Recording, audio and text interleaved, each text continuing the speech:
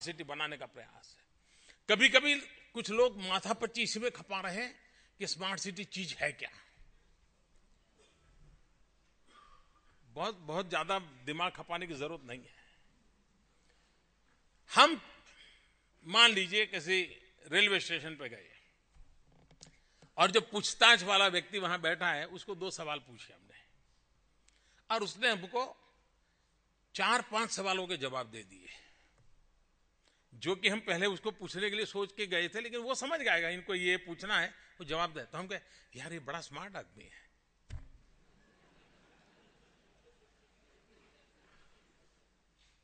मेरी आवश्यकता से भी वो एक कदम आगे हैं।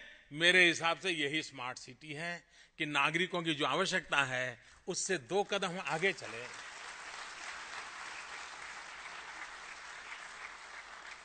उसकी जो आवश्यकता है आप मांगोगे, हाजिर है। आप चाहोगे, हम सोच रहे हैं। आपका सुझाव है हाँ हमारी योजना बन रही है। दो कदम आगे आप देखिए, देखते ही देखते स्मार्ट सिटी बन जाएगी। टेक्नोलॉजी है एनवायरमेंट फ्रेंडली डेवलपमेंट है। हमने प्रकृति के साथ जीना है। एनर्जी सेविंग हमारी स्वाभाविक व्यवस्था हो। वॉक टू वर्क ये कंसेप्ट लाना पड़ेगा।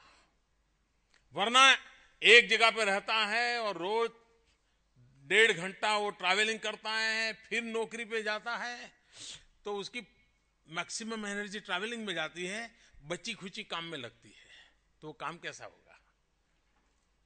अगर उसकी एनर्जी सेविंग होती है वर्क टू वर्क का कंसेप्ट डेवलप धीरे धीरे हमारे यहाँ होता है, और एक कंपोजिट व्यवस्था विकसित होती है, कि जहाँ सब कुछ अवेलेबल हो साइकिल पर भी जाए तो अपना काम हो जाए हमने इस प्रकार के मॉडल को डेवलप करना ही होगा।